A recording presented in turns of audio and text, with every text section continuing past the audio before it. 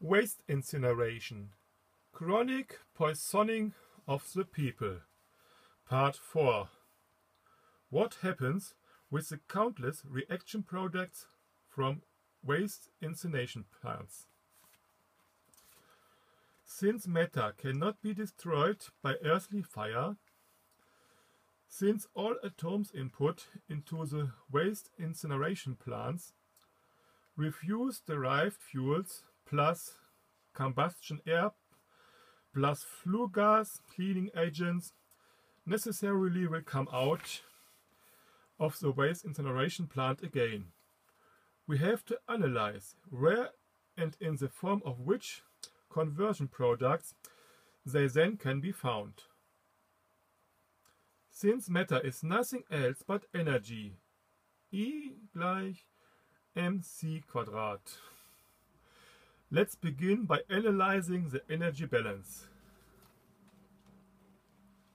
Energy balance, thermal emissions.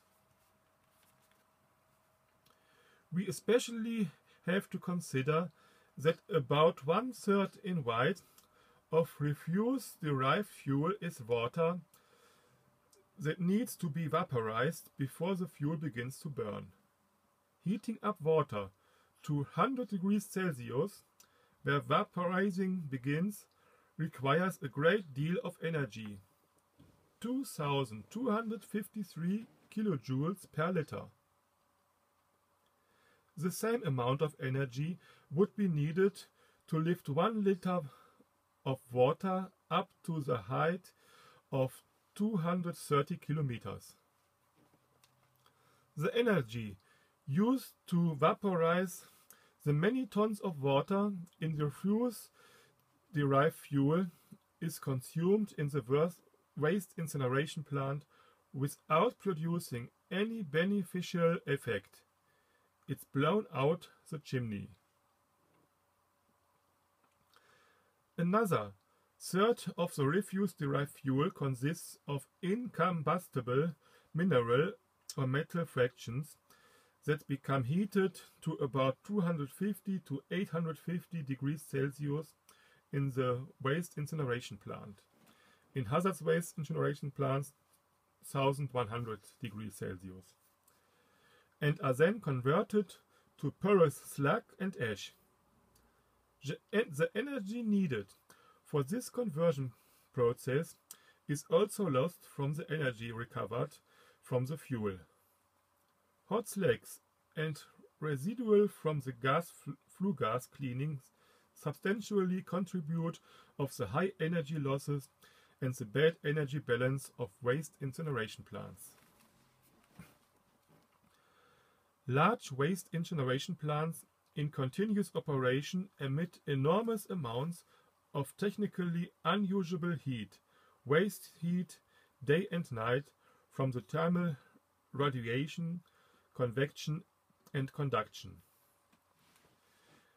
Most of the heat generated in waste incineration plants cannot be used to produce electricity or process steam due to technical constraints. Above all, waste incineration plants produce waste heat, useless thermal emissions, especially in our times where Tremendous regional climate changes induced by the global warming take millions of victims. This technique is unacceptable. It is really obsolete.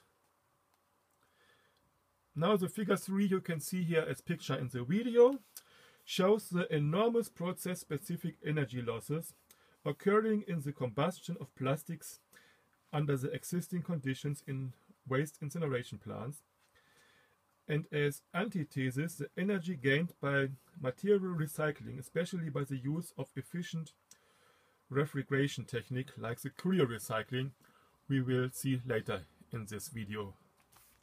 In this video, so.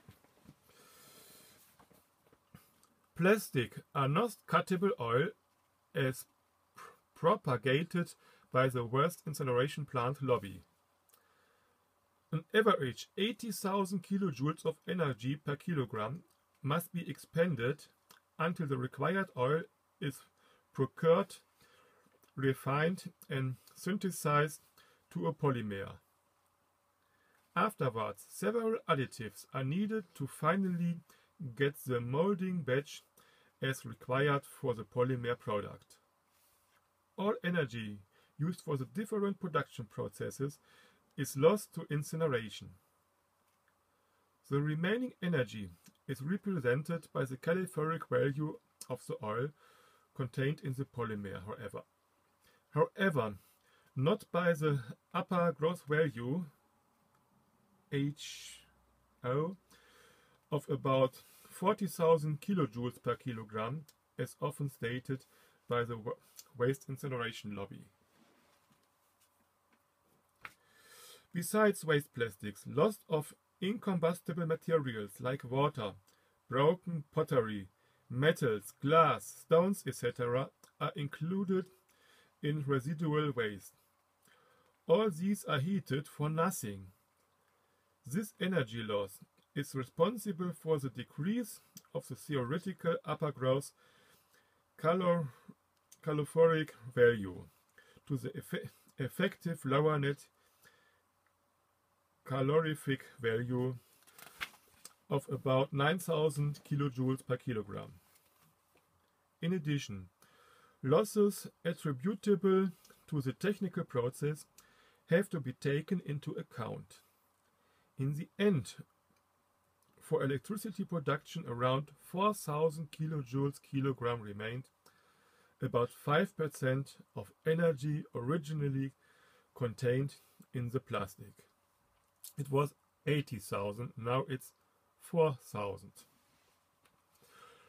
Of that, another 30% must be deducted for the waste incineration plant's own power requirements, plus the fuel oil needed for backup firing. An average 30 liters per ton of waste. So the electricity yield is very small. We have to ask ourselves why electricity utility companies are so interested in waste incineration. They gain economic advantage from long contact contracts periods of 25 to 30 years until amortization and especially from the business of synthesizing new plastics to replace burned plastics. It ensures high energy consumption. Recycling would reduce the demand for new synthesizers by converting the material of the old plastic. Recent studies employing life, life cycle assessments lead to the same results. Flue gas. For every single ton of waste combusted inside a waste incineration plant, 500 to 8,000 5,000 to 8,000 cubic meters of flue gas leave the stack. 5 to 8 tons of gas per ton of waste. As mentioned above, it contains a lot of steam due to the high water content of refuse derived fuel. The softened expression alternative fuel doesn't change that. As it cools down in the surrounding air, the steam condenses to white clouds.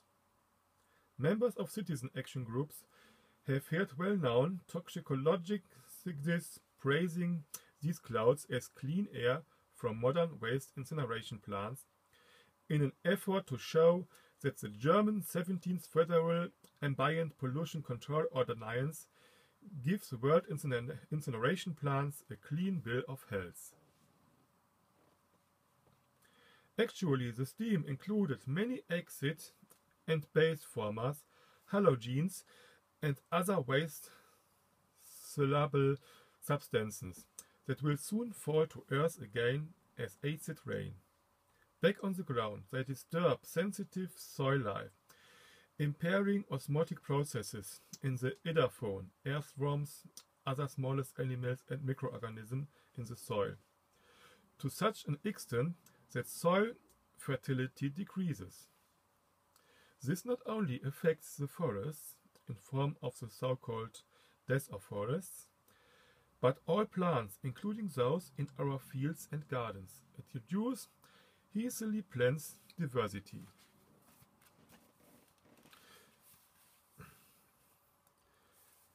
So, the huge number of chemical reactions, more than 10 high 26 per second, taking place inside a furnace and the cooling phase during the flue gas cleaning already were mentioned above.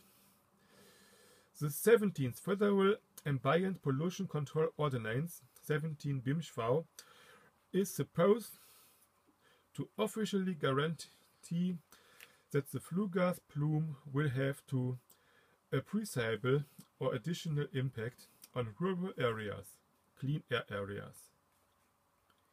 Even for the well-known Seveso poison dioxin, it specifies maximum emissions lower than 0.1 nanograms per meter cubic.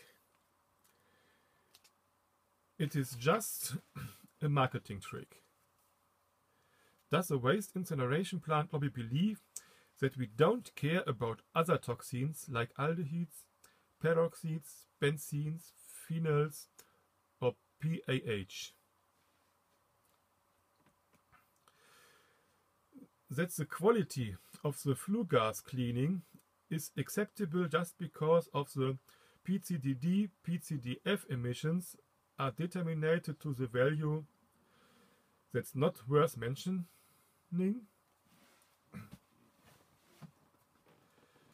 The countless poisonous reactions products of waste incineration plants will not be stopped by pertinent ordinance neither in Germany nor in Europe, nor anywhere else in the world.